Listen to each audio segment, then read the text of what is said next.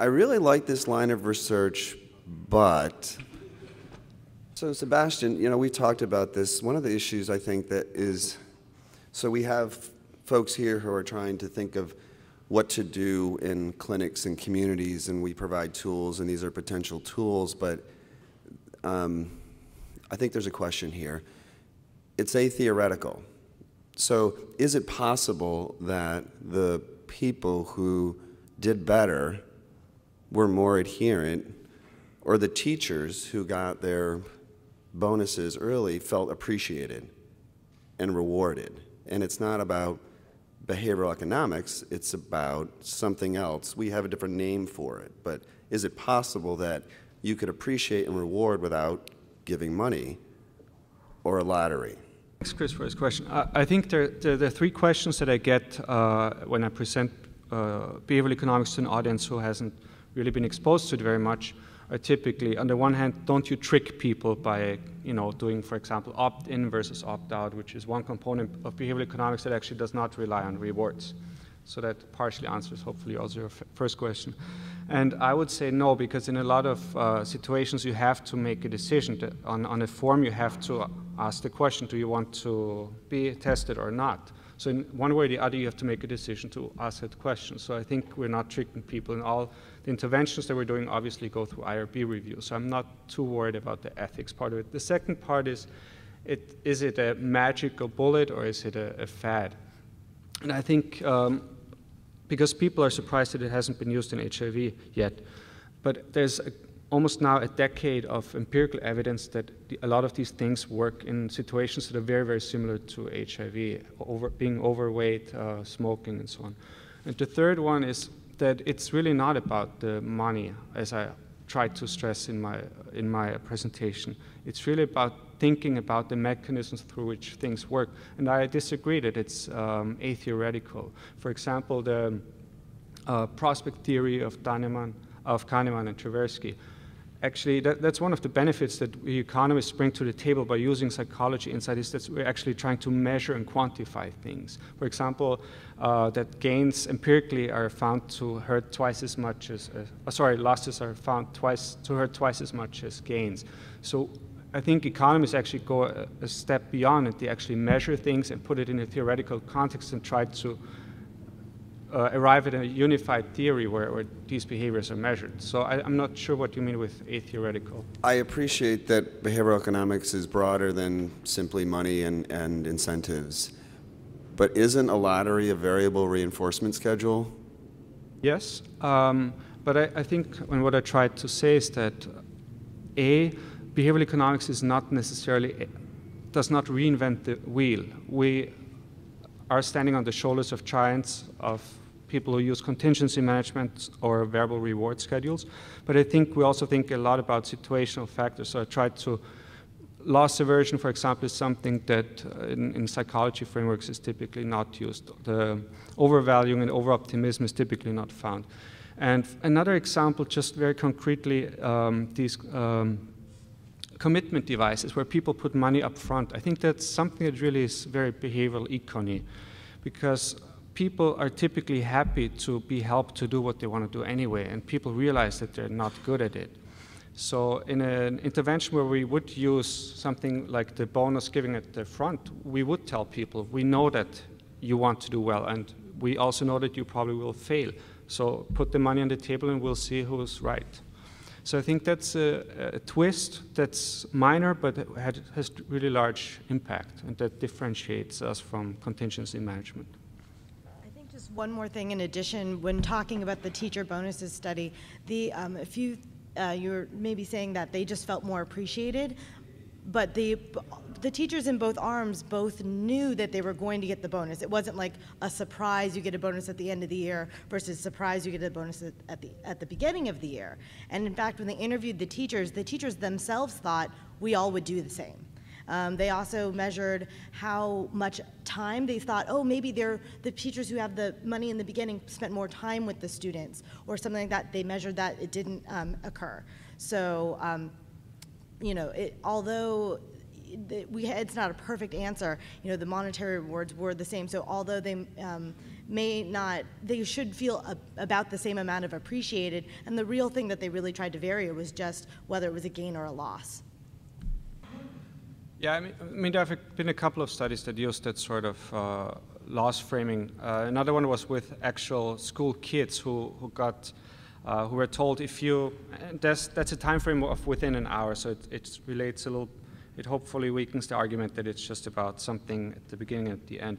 Um, they were told if you improve your SAT score by X percent, you'll get $100. And other people got $100 up front, put it in an envelope, wrote down, with these $100, I'm going to go to the movies or take my girlfriend out for dinner. Um, and just this uh, linking um, the, the, the, effort to this um, gain at the beginning or the loss at the end really helped a lot. So, so not sure if one would feel more appreciated than the other. I mean, you could also make the argument that uh, those people feel that, well, there's a lot of counter arguments. Following up on um, Chris's question, maybe another, uh, I want to follow up on this issue of this variable reinforcement schedule because to my mind, every time people go to Las Vegas and stuff, they, they come back happy whether they've won or lost. They, get a reward from it if they lost money at the tables. Well, they still got free drinks. so I'm just wondering, maybe, maybe you know, the, for the losing lottery people, maybe if you just offer a soft drink, they'll all, all come away with something, and then they, something like that is part of the uh, intervention program.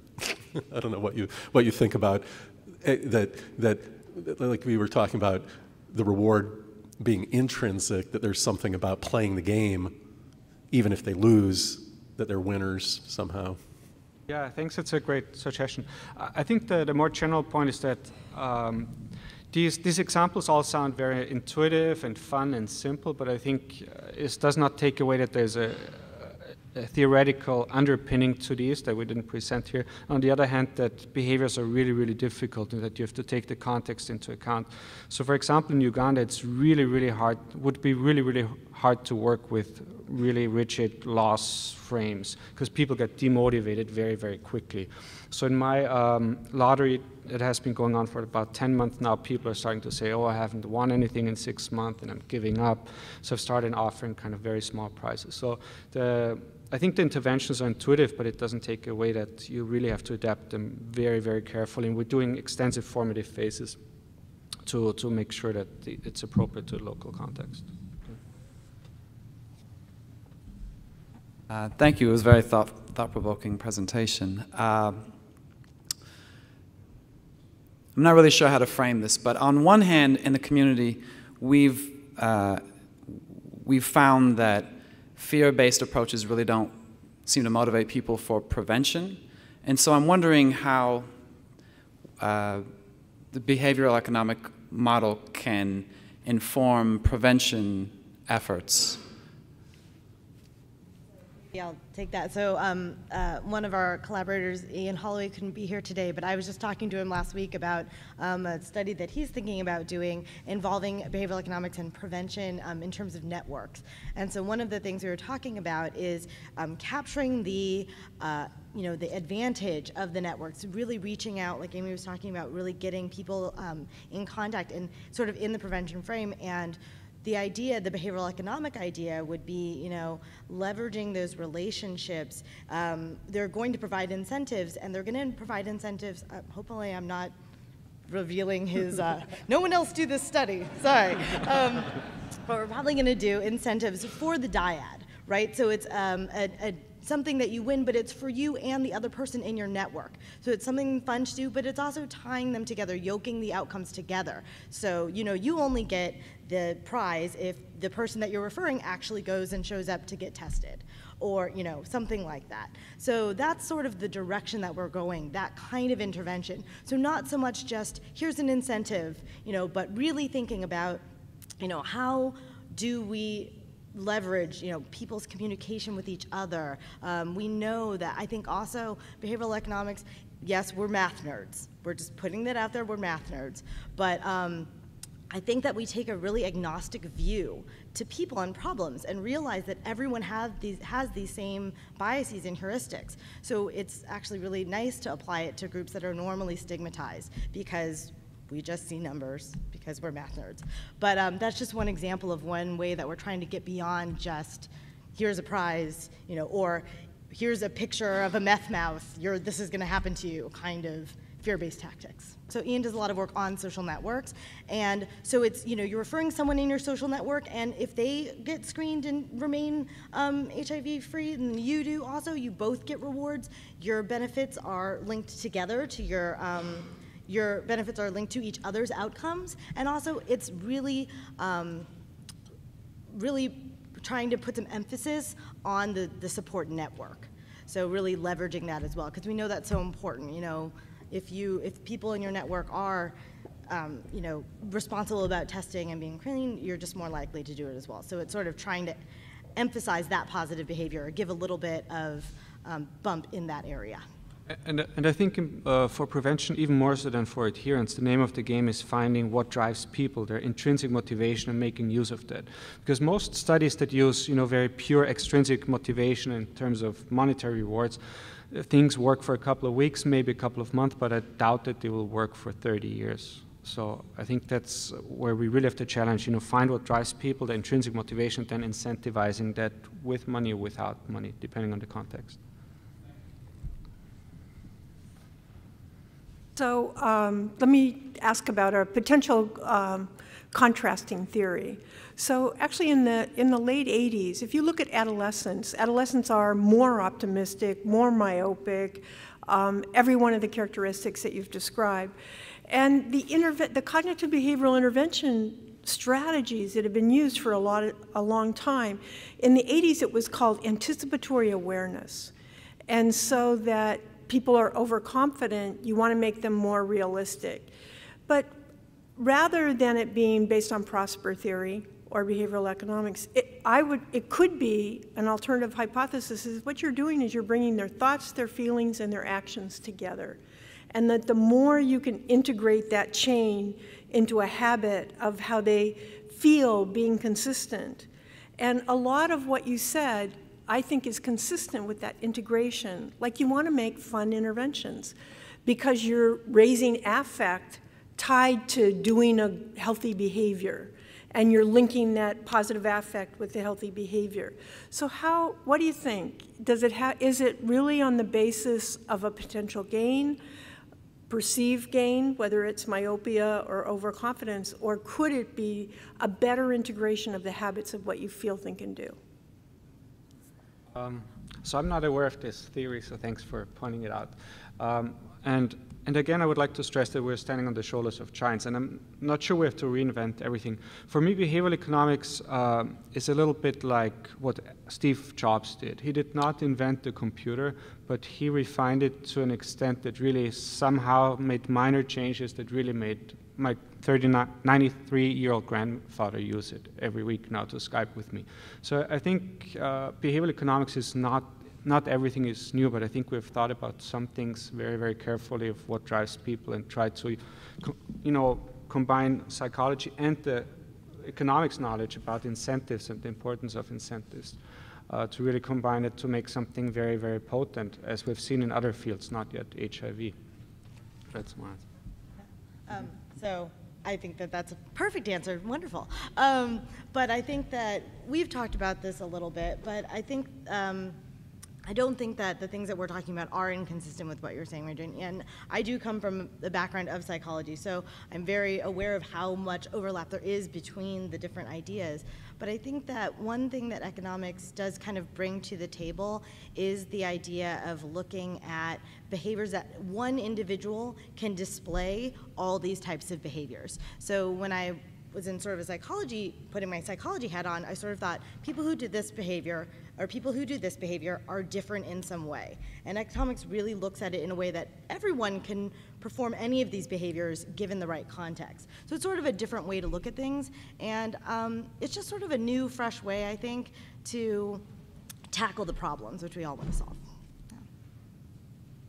So I would think that if you're, you're thinking about people who are from a, a group of high prevalence or they engage in risky behaviors on an ongoing basis, you can think of HIV as both a, on the treatment side and prevention side is a chronic disease. So are there any longitudinal studies looking at the application of behavioral economics or different forms of incentives, incentives and, and motivational strategies that are maintained over time?